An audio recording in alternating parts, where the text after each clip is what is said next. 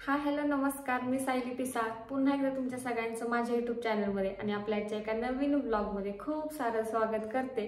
तर आजचा ब्लॉग पुन्हा एकदा काहीतरी नवीनच घेऊन आले.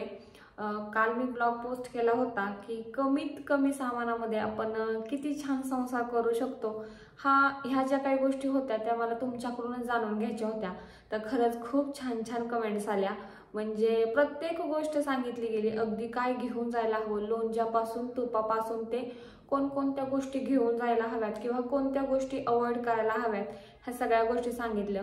अगदी ट्रान्सपोर्टेशन्स वगैरे कसं करायच्या कशा नाही ह्या सगळ्या गोष्टी सांगितल्या. तर त्याच्याबद्दल खरंच खूप धन्यवाद. एवढं सारं प्रेम देत आहे एवढी सारी आपुलकी देत आहे तर छान वाटतं ना. अजून मला तरी काय पाहिजे. आणि कोइन्सिडन्सली कालचा ब्लॉग फौजींना सुद्धा पाहायला भेटला. ते सुद्धा हॅपी झाले. मला म्हटलं लिस्ट वगैरे काढा तसं सामान हे करा. आता बघूयात बॅग्स तर मी काय डीमार्टमधून घेतल्या नाही. पण ह्यांनी सांगितलंय बॅग वगैरे घ्यायला. तर बघूयात की पुन्हा एकदा क- केव्हा तरी कॅन्टीनमध्ये जाईन. जमलंच तर. तर नाही तर मग नाही जाणार. बघू कसं सामानाचं ट्रान्सपोर्टिंग करायचं ह्या सगळ्या गोष्टी बघूयात. तर आजच्या ब्लॉगला स्टार्ट करूयात. आणि हो कालच्या ब्लॉगमधून मी काही लिस्ट वगैरे काढलेली नाही.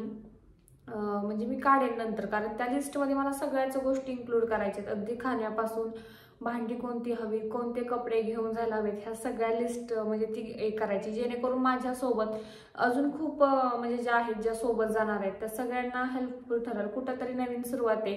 आणि मला तरी असं वाटतं जर आपण ऍडजस्टमेंट केली ना तर आपलं फ्युचर हे नक्कीच ब्राईट असू शकतं. प्रत्येक गोष्टीत जर ऍडजस्टमेंट करायची सवय लागून गेली तर फ्युचर खूप भारी होऊ शकतं. ह्याचा स्वतः अनुभव मी घेतलाय कारण माझी बऱ्यापैकी ऍडजस्टमेंट असती. तर ठीक आहे आजच्या ब्लॉगला स्टार्ट करूयात. आणि त्या सगळ्यांचे सुद्धा धन्यवाद ज्यांनी मला सगळ्या लिस्ट काढून इंस्टाग्रामला अगदी सेंड केल्या. सगळी लिस्ट म्हणजे मी काय घेऊन हाय जायला हवं देवपूजेपासून त्या सगळ्या गोष्टी काढून रांगोळी स्पर्धा असल्यावर रांगोळीसुद्धा लागते तिथं भेटत नाही. ह्या सगळ्या गोष्टी इंस्टाग्रामला पाठवल्या तर त्याबद्दल खरंच धन्यवाद.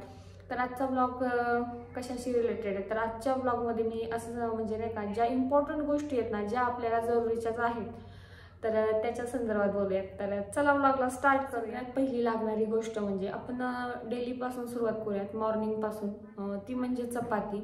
तर चपातीसाठी आपल्या इकडे परात वापरतात पण प्रत्येकच ठिकाणी परात वापरतील असं नाही. पीठ आपण कारण आम्ही दोघंच आहे आणि बऱ्यापैकी जाणारे दोघं किंवा त्यांचं एक लहान बेबी असतं. तर मग काही काही लोक जे आपलं ताट असतं ना जेवणाचं त्यात सुद्धा मळतात. त्यामुळे तुम्ही परत तुमच्या ह्याने घेऊन जाऊ शकता. तर जी मी मोजकी भांडी आहेत ना जी जरुरीची आहेत तर ती दाखवते. तर त्यानंतर येतं म्हणजे पोळपाट आणि हे बेलणं. तर आमच्याकडं पोळपाट म्हणतात. तुमची लँग्वेज मला काय असेल ते माहीत नाही. तर हे माझ्या लग्नातले मी हे घेऊन जाणार आहे. पण थोडीशी कन्फ्यूज आहे हे घेऊन जाऊ की नको घेऊन जाऊ? कारण तिथं मला फायबरचं वगैरे पण म्हणजे अवेलेबल होईल ह्या गोष्टी. कॅन्टीनमध्ये नाही पण बाहेर तर भेटूनच जाईल. कारण मा मी जिथं उतरणार आहे तिथून जवळजवळ एक तीस चाळीस किलोमीटर दूर कॅम्प आहे. आणि मध्ये भरपूर सिटीज वगैरे आहेत. सो मग मला भेटून जाईल. पण मी अजून शुअरली नाही की घेऊन जायचं का नाही घेऊन जायचं. पण मला तरी असं वाटतं हे खूप मोठं आहे लग्नातलं आहे. आणि मी ह्याच्यावर चाकूने असं कट केलं त्यामुळे स्क्रॅचेस पण पडले. ठीक आहे. पण जर फौजींना विचारलं तर फौजी म्हणतील हेच घेऊन चाला कारण हे ऑलरेडी आपल्याकडे आहे आणि आपल्याकडे तरी माझ्याकडे तरी असं पातळ आहे पण जे आपले आउट ऑफ महाराष्ट्र असतात ना त्यांचे बघितले ना तर त्यांचे हे खूप जाड असतात. म्हणजे इझिली त्यांना त्यांच्या चपात्या खूप गोल फिरतात. आपल्याकडे चपाती असते त्यांच्याकडं रोटी असते. तर बघूयात ही पहिली गोष्ट. म्हणजे सोबत घेताना जाऊन म्हणजे नाही का लागतेच. कोणी कोणी डिरेक्टली किचन ओट्यावर पण चपात्या लाटतात. त्यांना ह्याची काही जरूरत नाही. मग फक्त हे घेऊन जायचं. तर ठीक आहे पहिली गोष्ट तर क्लिअर झाली. तर त्यानंतरची गोष्ट म्हणजे चपाती भाजण्यासाठी लागणारे तवा. तर प्रत्येकजण तवा आपापल्या चॉईसनुसार घेतं. कोणाला काळा तवा लागतो तर कोणाला कसा लागतो. म्हणजे ज्याच्या त्याच्या भागात पद्धती वेगळ्या आहेत. तर माझ्याकडे चपातीसाठी हा तवा आहे. हा मी कॅन्टीनमधूनच घेतला आहे आणि हा मी घेऊन जाणार आहे. ह्याच्यामध्ये काय होतं माहिती आहे तेल अशी चपाती खाली लागत नाही. आणि हा जो तवा आहे ना हा भाकरीसाठीच आहे. हे दोन्ही माझ्या लग्नातलेच आहेत हे दोन्ही माझेच आहेत. आणि खूप भाकरी टाकली तेव्हा म्हणजे भाकरीचा व्हिडिओ टाकला तेव्हा कमेंट होत्या की काळा वगैरे कर असं कर. पण मला काळा तवा आवडत नाही. म्हणजे आमच्या घरात कोणालाच नाही आवडत. माझ्या आजीपासून बघितलं तर सगळ्यांचे तवे हे पांढरेच असतात. म्हणजे होतात काळे पण धुवून साफ वगैरे करायचे. काळा साबण भेटतो त्याने. एकदम छान तवा होतो. आणि हा दुसरा हा मी घेताना ना थोडीशी चूक केली. मला साईजच समजली नाही. हा थोडा बारीक पडतो त्यामुळे चपात्या ना बारीक करायला लागतात. पण ठीक आहे. मी हे दोन तवे सुद्धा घेऊन जाणार जे मी मोठे मोठे भांडे आहेत ना ते दाखवते. बाकी छोटे छोटे भांडे तर तोंडाने चपाती ह्या गोष्टी तर झाल्या त्यानंतर म्हणजे भात वगैरे आपण म्हणूयात. तर भातासाठी कुकर म्हणजे प्रत्येकाच्या घरात किती लोक राहतात किंवा किती त्यांना लागतं ह्यावरून भाताची कुकरची साईज असू शकते. तर माझा नाही आहे हा कुकर हा कुकर मम्मीचा आहे. हा मी काय घेऊन जाणार नाही. मी कॅन्टीनमधून डायरेक्ट तो कुकर घेणार प्रेस्टिजचा म्हणजे इथून काय घेऊन जाणार नाही. पण हो साईज दाखवायची म्हणून हा कुकर दाखवते. तर ह्याची साईज मी ना एवढीच घेऊन जाणार आहे. म्हणजे एवढीच तिथं घेणार आहे. कारण आमच्या दोघांसाठी ते सफिशियंट आहे. दोघं नाही. ह्याच्यामध्ये तीन चार जणांचा भात तर होऊ शकतो. आणि दुसरं जर काय म्हणायचं झालं तर मग चिकन वगैरे वाफवायला मी कुकरचा वापर करते. पण ह्यामध्ये अर्धा किलोपेक्षा जास्त चिकन माझं छान वाफलून होतं. त्यामुळं जर कुकर न्यायचा असेल तर हा नेणार आहे. ह्याची कंपनी वगैरे काही मला माहीत नाही. पण माझ्या घरी जर सगळ्यात जास्त भांडे कुठले यूज होत असतील ना तर जर्मनचे होतात. स्टीलचा पण एवढा वापर केला नाही जात. पण जर्मनचा केलाच तर सेकंड वन कुकर तर तुम्ही हा पण सोबत घेऊन जा. जर तुम्ही सोबत घेऊन नसेल जाणार तर तिथं तुम्ही परचेस करा कारण कसं झालं माहिती का? आता खूप जणी सोबत चाललेत खूप सोबत पोस्टिंग आलेत आणि खूप पोस्टिंग आउट पण झाले त्याच्यामुळं मग काही गोष्टी राहून जायला नको. मला ज्या कमेंट्स आल्या त्याच्या थ्रू मी दाखवतीच आहे. पण जेव्हा मी चार्ट प्रिपेअर करेन माझा स्वतःचा तेव्हा मग मी तो पूर्णच दाखवेन. त्यामध्ये सगळ्या गोष्टी असतील. अगदी कपड्यांपासून मेकअपपासून किंवा ह्या सगळ्या गोष्टी वेलफेअरसाठी लागणाऱ्या गोष्टी ह्या सगळ्या गोष्टी दाखवून दाखवण्याचा नक्की प्रयत्न करेन. तो ब्लॉग एक दहा पंधरा दिवसात घेऊन येईल कारण तेव्हा माझी पूर्ण पॅकिंग झालेली असेल.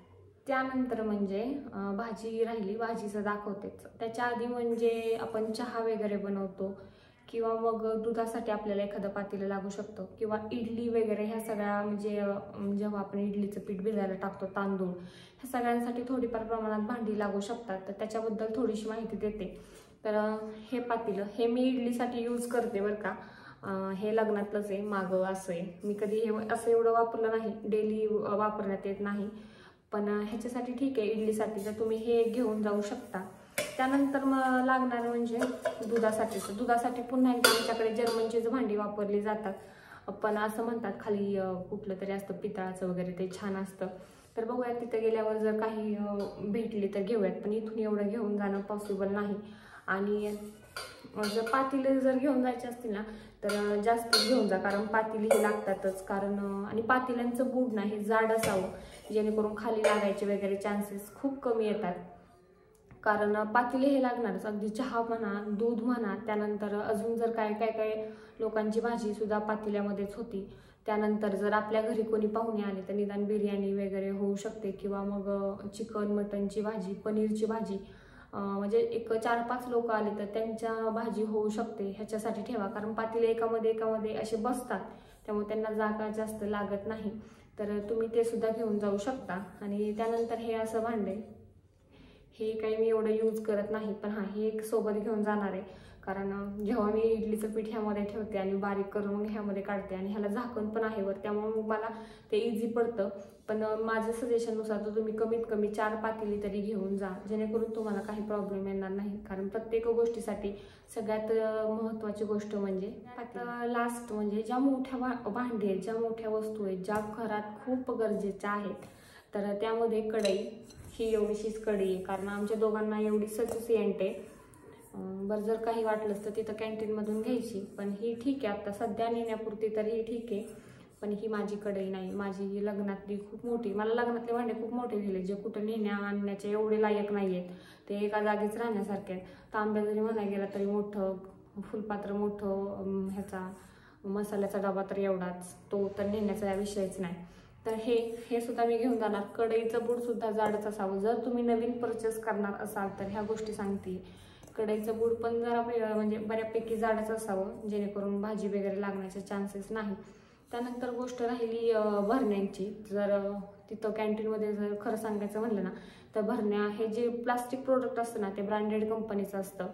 त्यामुळं ते थोडंसं महाग असतं कॅन्टीनमधलं पण आपण काय एवढे ते एवढे दिवस तिथं राहणार नसतो त्याच्यामुळे मग आपल्याला काय एवढं ब्रँडेड कंपनीचं घेऊन जाणं जरुरीचं नाही. आता मी पुण्यात आहे. पुण्यात जर विचार केला ना तर इथं रोडवर अशा गाड्या येतात. भरण्या वगैरे दहा रुपये वीस रुपये. म्हणजे त्याची साईज मोठी असते. दहा रुपयाच्या भरण्यात पावशेर बसू शकतं. वीस रुपयांच्या भरण्यात एक अर्धा किलोपर्यंत बसू शकतं. मग जर मला मी आहे तोपर्यंत त्या गाड्या आल्या तर मी त्या पाच सहा घेऊन ठेवणार. कारण तिथल्या घेणं तर मग मला ओके वाटत नाही. कारण तिथं खूप महाग असतात. आणि बंगालचं म्हणजे हे तिथलं हे काय म्हणू शकतो आपण?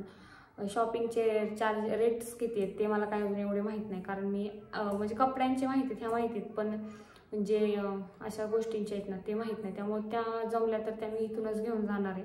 मोठे डबे वगैरे घेऊन जाणार नाही काही नाही. ते मी मेशोवरून हे घेणार. पण बघूयात मेशोवरून पण ह्यांनी सांगितले काय मागवायचं ते इकडंच मागव. कारण माझ्या रूमपासून ते बाहेरचं गेट जवळजवळ दोन तीन किलोमीटरच्या डिस्टन्सवर आहे. गाडी वगैरे पण काय घेऊन जाणार आहे जाणार नाही. त्यामुळं मग एवढं आणणार कसं? तिथं कंटिन्यू जर काय मागवलं मागवलं. तर एवढं घेऊन जाणं येणं पॉसिबल होणार नाही. त्यामुळं जे काही बाकीची शॉपिंग आहे कपड्याची वगैरे थोडीफार का होईना ती इथूनच करणार आहे. तर उरल्या गोष्ट मग मसाल्याचे डबे हे हे काही न्यायची जरूरत नाही. तिथं रांगोळीचा डबा पण बघा प्लास्टिकचा भेटला जातो.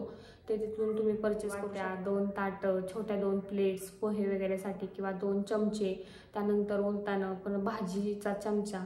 त्याच सोबत पुरणाची चाळी कारण फंक्शन्स पण येत आहेत संक्रांत वगैरे येते पाडवा येईल.